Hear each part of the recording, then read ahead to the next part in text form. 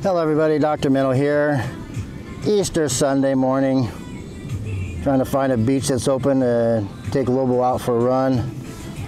So, heck, this is one I can easily step over. But we're going to talk about 5G today. That seems to be the big talk of everywhere. So, why do we need 5G? What is this whole reason and this big push for 5G? Why do we need it? Oh, wait, wait, wait a minute. We don't need it. They need it. They want it. These advertisers, these corporations, these a-holes, they want the 5G because they're bogging down our bandwidth with all of their data collecting, all of their advertising. You know, we're paying out of our pockets to be brainwashed. That's what this is all about brainwashing through multiple advertising. And they've taken up our bandwidth with so many of these advertising uh, spots on the side. You know, everything's moving.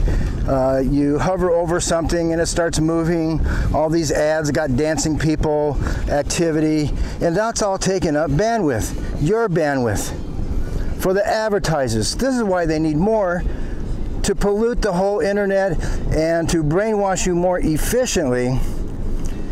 Because an example that I put in a video a while back that you know I had uh, out here in the jungle I don't have the best internet service so I changed to a company that had uh, five download and one upload.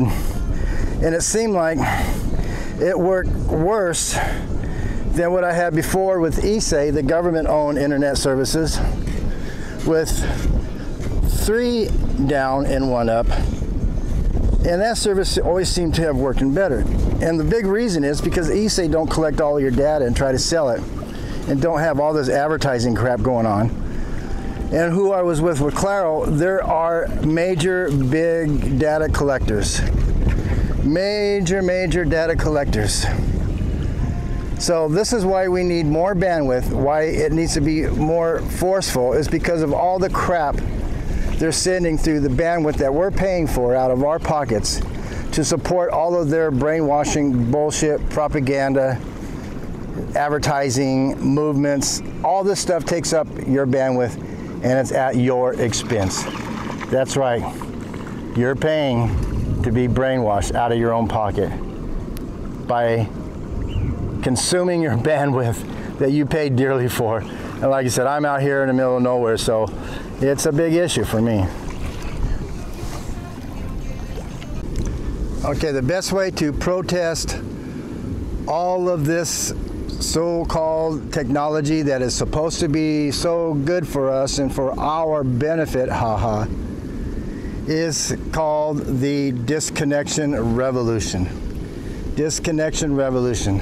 You need to start disconnecting your Wi-Fi devices. And hell, we've learned, we've lived without it for decades and decades. You know, they kept saying, oh, get this, get that. Technology is supposed to make your life so much easier. But it's not true. It's a bunch of BS. If life was so much easier, we wouldn't have this economic problem. We wouldn't have these wars going on. Communication is supposed to be better. People are supposed to be solving their problems. But all this communication has done is give mankind a greater opportunity to lie, deceive, fool, break contracts, so on and so forth. And it just let all the pedophiles another avenue to get to our kids and our children. And then the other aspect of all this is called uh, the fiscal revolution is just don't participate in society, don't participate in what the corporations want you to do. We got to stop the money flow going to the corporate, the fascist corporatism. What a nice way to put lipstick on a bad word. Corporatism equals fascism. But this is what people need to do is not participate in the stuff they have set up for you. That's how you got to protest. You got to get rid of your congressmen and senators and form picket lines around their house on their routes to their offices. You got to occupy the crosswalks all around, all four crosswalking areas. Go to a four-way stop sign and get couple hundred people and just go a big circle, a big square, and keep people walking around in a big square around four crosswalks.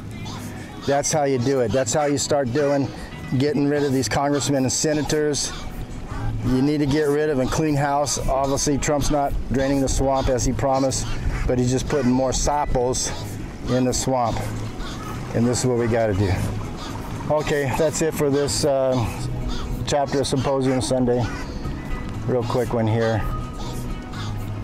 Pura Vida from Costa Rica. Let's watch the world collapse as a third party. Come here, boy. Come on.